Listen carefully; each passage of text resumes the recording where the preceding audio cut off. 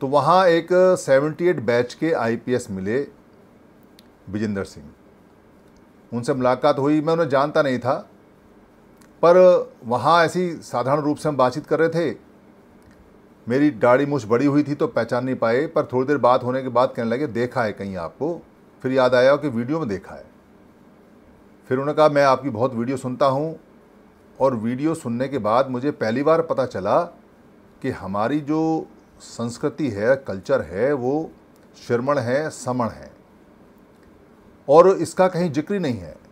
यहाँ वैदिक संस्कृति का ज़िक्र होता है, ब्राह्मण संस्कृति का ज़िक्र होता है, सनातन धर्म की बात होती है, और बहुत सारी बातें होती हैं, पर इतनी विशाल श्रमण संस्कृति, समण संस्कृति उसका तो कोई शब्द भी नहीं जानता।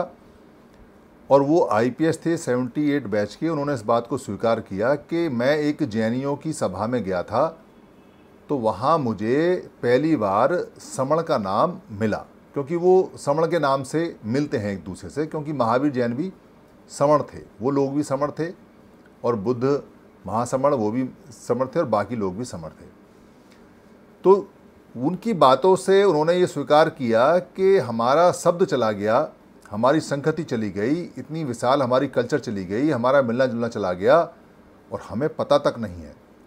78 बैच के आईपीएस समझिए, जो पूरा इतिहास पढ़ के आते हैं, जो पूरा एंथ्रोपोलॉजी पढ़ के आते हैं, जो पूरा एडमिशन पढ़ के आते हैं, जो इंटरव्यू की तैयारी करते हैं और जो पूरी दुनिया को देखते हैं रिटायर हो गए हैं वो अब, वो ये स्टेटमेंट दे रहे हैं। तो आप समझ सकते हैं कि समण शब्द को दुनिया के कानों तक पहुंचाना और इस संगति के पहले शब्द को दुनिया से रूबरू कराना और उनसे इनका इंट्रोडक्शन करवाना ये सब समर संघियों की प्राइम ड्यूटी है।